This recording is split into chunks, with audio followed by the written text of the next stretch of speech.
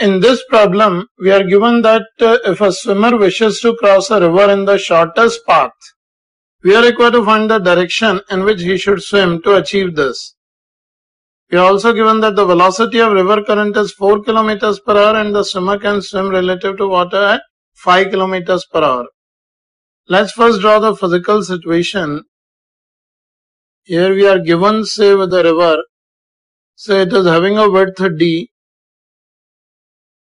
it is given that the river current velocity is UF that is 4 kilometers per hour and a swimmer wishes to cross the river in the shortest path. If he starts from point A, then obviously to cross the river the shortest path is along the width of the river that is in the direction perpendicular to river current.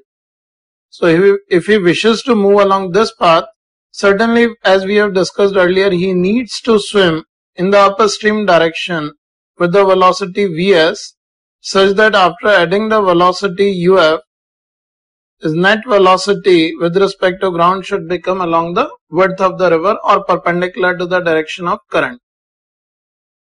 This should be the resultant velocity or net velocity which can be given as Vs plus Uf. So in this situation, he needs to swim at an angle theta from the normal to the bank. This theta can be obtained directly by sine theta here in this triangle we can say sine theta is equals to uf upon vs.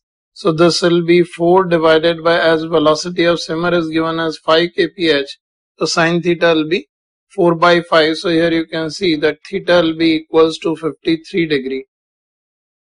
So he should swim in the direction at an angle 90 plus 53 that is 143 degree from the direction of river current and the resulting velocity Vr with which he is actually crossing the river can be given as root of Vs square minus Uf square. So this will be root of 25 minus 16 that will be root 9 this is 3 kph.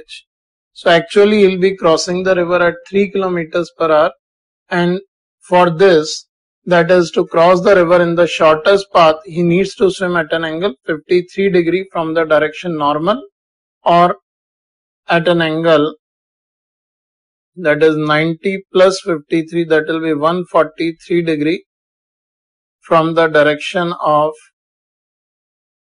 river current. This is the direction in which he should swim. So this is the answer to the problem.